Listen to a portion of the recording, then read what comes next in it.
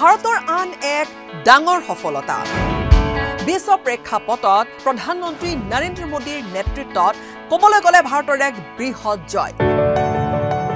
কাটাৰে মুকলি কৰি দিলে কাটাৰত কাৰাবন্দী হৈ থকা ভাৰতৰ আঠগৰাকীকৈ প্ৰাক্তন নৌসেনাৰ বিষয়াক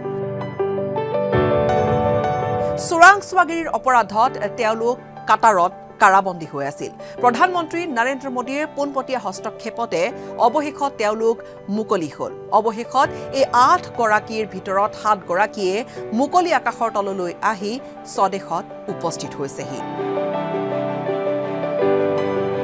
নিজ ঘৰত নিজ ভূমিত উপস্থিত হোৱাৰ পিছতে প্ৰধানমন্ত্ৰী নৰেন্দ্ৰ মোদীক প্ৰশংসাৰে উপচাই পেলাইছে চোৰাংচোৱাগিৰিৰ অপৰাধত কাটাৰত কাৰাবন্দী হৈ থকা এই আটাইকেইগৰাকী প্ৰাক্তন নৌসেনাৰ বিষয়াই।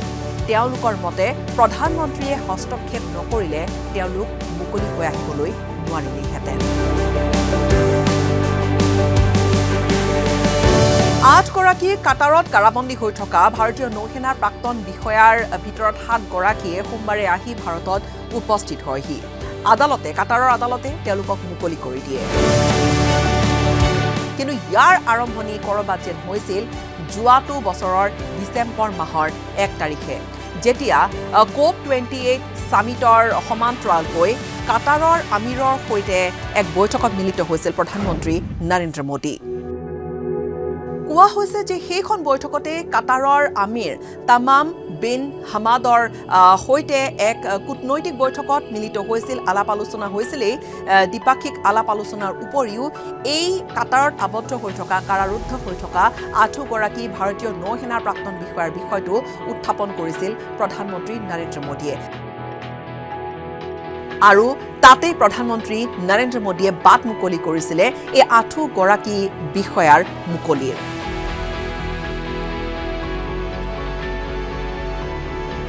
আচলতে এই আঠোগৰাকী তেওঁলোক প্ৰায় ওঠৰ মাহ কাৰাবন্দী হৈ আছিল কাটাৰত।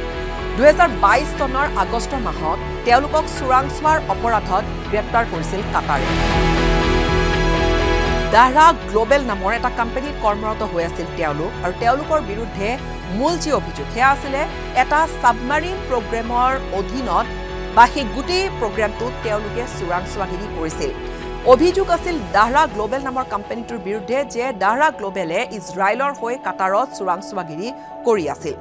অৱশ্যে পৰ্যায়ক্ৰমে যেতিয়া এই আঠোগৰাকী ভাৰতীয় প্ৰাক্তন নৌসেনাৰ বিষয়া গ্ৰেপ্তাৰ হ'ল বা দাহৰা গ্ল'বেল কোম্পানীটোৰ ওপৰত কাটাৰ কৰ্তৃপক্ষৰ চকু পৰিল সেই কোম্পানীটো বন্ধ কৰা হৈছিল। সেই কোম্পানীটোত আৰু বহু ভাৰতীয় নাগৰিক কৰ্মৰত হৈ আছিল। বন্ধ হৈ পৰাৰ লগে লগে সেই কোম্পানী বহুখিনি ভাৰতলৈ ইতিমধ্যে উভতি আহিছিল তাৰ কৰ্মচাৰী। কিন্তু এই আঠোগৰাকীৰ বিৰুদ্ধে খুব কঠোৰ হৈ পৰিছিল কাটাৰৰ আদালত।